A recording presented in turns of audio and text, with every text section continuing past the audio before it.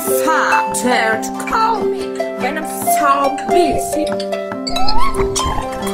Don't please send me a message and ask if I'm available.